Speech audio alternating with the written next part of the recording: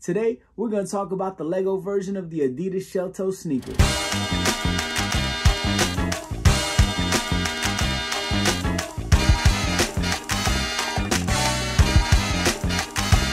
On the turntable, we got the Lego X Adidas Original Superstar sneaker. This summer, two legends in their respective games came together to bring us one of the most amazing collectible pieces that we've ever seen on this channel. Now, I've covered a couple kick bricks, but this is completely different. This is an official collaboration between the Lego Giant and the Sneaker Giant. This was available somewhere between July 1st to the 14th on Lego.com and in official Lego stores. The Lego Adidas Original Superstar is a model of the classic silhouette of the legendary Adidas Superstar, also known as Shell Toes. This model consists of a whopping 731 pieces, which is a decent challenge for even the best Lego masters, and I'm nowhere near a Lego master, and I would say it took me about six hours to put this thing together. It says recommended for ages 18 and over, and I would agree with that. I know I started getting into Lego through these kick bricks that I found online. And the first one I did was the Sean Wotherspoon one. And I had a lot of fun doing it. So when this popped up, I had to buy it. Just like the original classic sneaker, this Lego Adidas Original Superstar is tagged on the inside of the inner sole, as well as various other places around the shoe.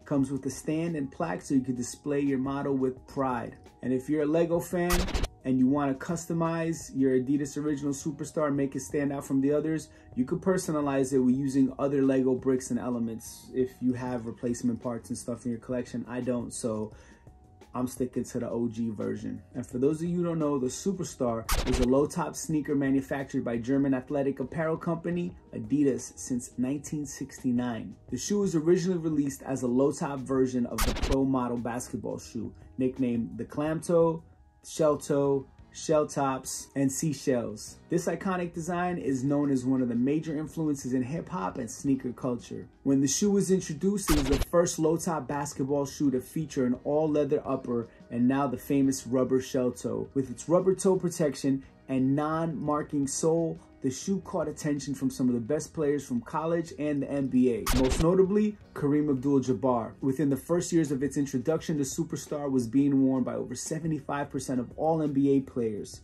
proof of its revolutionary technology which remains today. But here's the game changer. In 1983, Run DMC refused to conform to pop standards and decided that they're gonna rock and wear whatever they wore on the streets, which was honestly groundbreaking. I mean, it's common now, but back then, no one was doing that.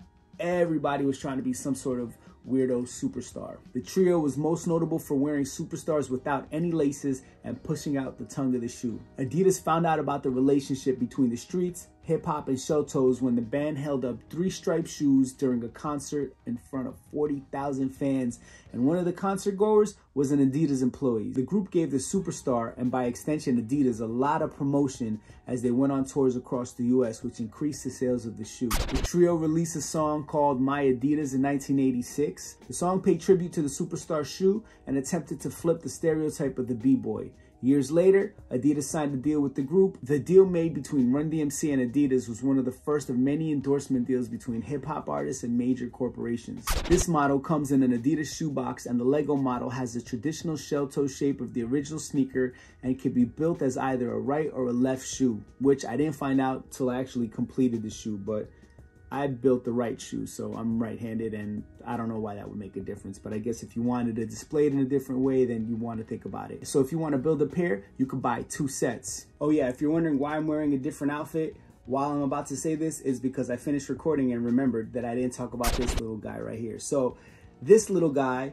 was an actual upgrade. So if you spent uh, $85 on the website, you got this limited edition for free. So I had to comb the website, find the cheapest thing, get my sale up to 90 bucks, got this guy for free. Took me about an hour to make, and I believe this is the only way you can get this thing. So um, shout out to my Adidas Superstar sets.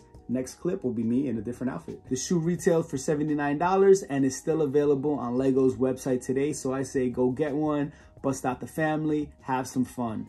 And as far as what this may be worth in the future, I don't know. Let's stick around and find out. Thanks for watching. Make sure to like, comment, subscribe. Follow me on Instagram. If I missed anything, if you have anything to add to the conversation or simply want to be like, yo, this thing is dope, leave it in the comments. I'd love to hear from you. Peace.